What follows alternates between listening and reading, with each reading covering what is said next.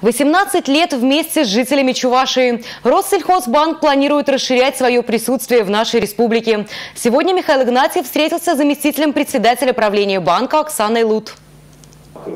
Стороны обсудили работу банка на территории республики. Россельхозбанк всегда плотно работал с правительством Чувашии. В частности, финансировал сезонные работы, вкладывал средства в реализацию инвестиционных проектов. Михаил Игнатьев назвал банк ключевым финансовым партнером. 18 лет вот, Россельхозбанк на территории республики, и за эти 18 лет 63 миллиарда э, средств вложено и в реальный сектор экономики, и в агропромышленный комплекс, и в потребительском рынке на сегодняшний день с каждым годом динамика растет.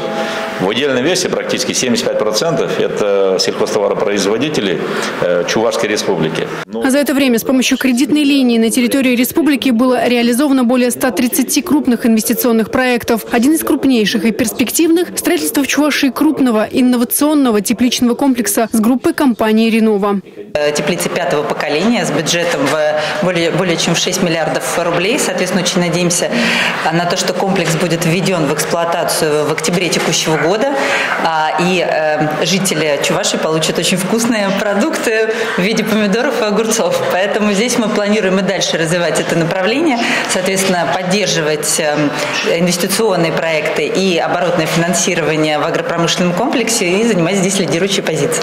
Михаил Игнатьев подчеркнул, что республика будет содействовать реализации проекта. Галина Титарчук, Андрей Шоклев, Республика.